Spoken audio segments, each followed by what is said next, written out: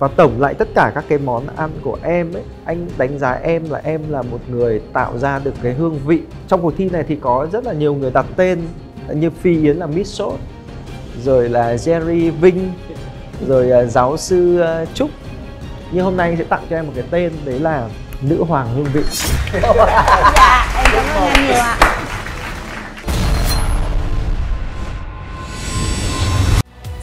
Nhà tài trợ Chinsu đã đồng hành cùng với Top Chef Việt Nam.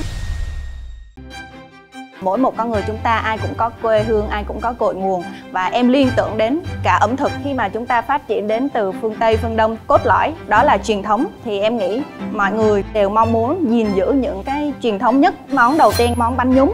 Và em đã kết hợp trứng cá, ủ rượu loại tốt nhất đặc biệt nhất em tạo hình trái tim, mang bữa tiệc này đến với ban giám khảo và khách hàng bằng tất cả tâm huyết và trái tim của mình. Tiếp theo, đó là món tapagio của sò điệp. Sò điệp hokkaido là một sản phẩm rất là nổi tiếng, em kết hợp nguyên liệu rất là dân dã bình dị của việt nam, đó là trái cà pháo. Và trong cái món sò điệp này có một cái ờ, viên kem rất là đặc biệt, đó là em dùng quả phúc bồn tử được trồng ở lạc dương, lâm đồng quê hương em. Cái phương pháp dry age sò điệp này thì giúp cho cái sò điệp nó mềm mại hơn ngọt hơn và giữ được những cái tinh túy tuyệt vời nhất của cái cồi sò điệp Hokkaido.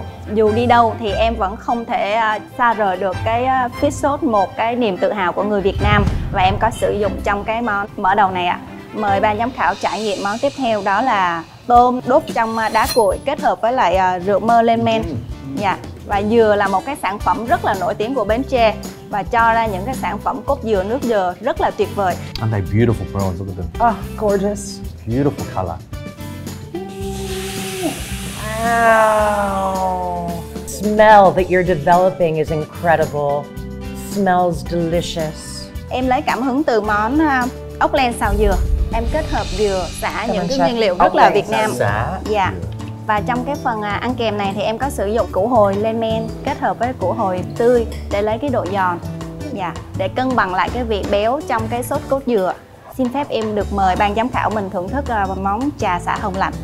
Để à, tẩy cái ok. vị hải sản và mình bắt đầu một cái khám phá mới với món bò wagyu A5 đây là món à, trà xả hồng mà sao nó màu hồng cái màu á cái màu là hồng À dạ, đây là một phản ứng hóa học mà em chưa nghiên cứu được à, giải mã tại sao khi mà nấu ra cái nước xả và nước tía tô thì nó giống như là màu nước thuốc. Nhưng mà khi mà mình cho cái nước tắc vào thì à, À, chuyển ok. ra màu hồng Dạ, dạ. tự nhiên rất là đẹp. Tiếp tục hành trình của mình thì à, em sử dụng à, thịt bò Wagyu A5 một loại bò thượng hạng. Em kết hợp phương pháp và kỹ thuật nấu, tạo ra một cái loại sốt bò kho truyền thống hoàn toàn không có kem sữa. Sốt bò kho này đặc biệt ở chỗ là tôi nấu một cái hương vị rất là truyền thống. Mọi người thường nghĩ là truyền thống thì ai cũng có thể nấu được. Nhưng làm sao bạn cân bằng được vị người Việt cũng cảm thấy rất là tuyệt vời. Và khi một người nước ngoài ăn hay bất kỳ ai ăn cũng đều rất là yêu thích cái món sốt đó. Và puree cà rốt cũng vị bò kho. À, bên cạnh đó thì lấy cảm hứng từ những lũy tre làng rất là thân thuộc thì em lấy cái phần măng trúc Hà Giang rất là giòn, ngọt kết hợp với lại một phần à, sốt có vị béo nhẹ và ăn kèm hạt gạo tím than chiên giòn để cân bằng vị. Thường thì cái măng rất là đắng và hăng cái mùi rất là khó chịu nhưng mà em đã xử lý qua một bí quyết đó là nước gạo thường ở Việt Nam sẽ có bánh mì bò kho hay chấm sốt bánh mì Việt Nam nhưng mà em lấy à, tinh túy của cái à, sợi sa phong để tạo nên cái màu vàng đặc biệt cho cái bánh mì dạ bánh mì sa phong một cái điều đặc biệt cuối cùng em à, tiết lộ trong cái món ăn này đó là muối kiến cũng là một đặc sản của Tây Nguyên Salted ants. Yeah, look, we got a little ant on there. See them? Good protein source. khi mà mọi người nhìn vào cái món dessert của em rất là đơn giản nhưng mà kỹ thuật của một người đầu bếp khi mà cân bằng được cái vị béo của cốt dừa và vị ngọt của chuối để làm nên một cái món kem mà làm cho người ta đi đâu cũng thương nhớ thì em nghĩ đó là cái điều đặc biệt cái sự thành công. Em uh, sử dụng uh, nước cốt dừa bến tre sử dụng kết hợp với lại chuối ngự một cái loại chuối rất là đặc biệt ngày xưa là một trong những loại chuối ngon nhất Việt Nam được tiếng vua và ở trên em làm một cái lớp xeo xoài cát hòa lộc có vị chua thanh nhẹ để cân bằng lại cái vị béo và vị ngọt của um, cốt dừa và chuối Chef, um, your set menu today, I loved it. I felt I was on a summer holiday. You know, the brightness of the flavors, the, the colors, it was light, it was healthy, it was just delicious. And you have the best palate in this competition. what I find so unique about Vietnam and what Chef presented so well is the ingredients here are so fresh and so flavorful, and how you pair them together and build the symphony of flavors so that they combine into one beautiful song of music. That's the trick. When you can do that, when you can achieve that, you're achieving greatness. And in my opinion, you have, from what I tasted today, showcased your beautiful regional ingredients in such a prolific way. Nhìn chung menu của em, anh thích cái sự nhẹ nhàng. Em làm được cái việc nguyên liệu không bị mất đi giá trị cơ bản của nó.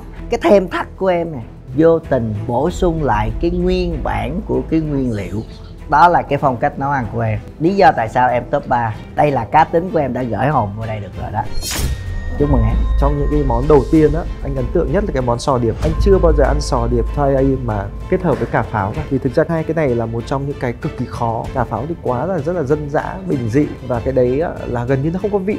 Nhưng mà em lấy được cái sự giòn tan như này. Rồi em tận dụng được cái sò điệp mà lên tuổi á nó rất là đậm đà sốt rồi sâu bờ em làm á cân bằng hết tất cả những cái đó. Sò điệp rye phủ bơ hai tuần với một cái độ ngọt sâu.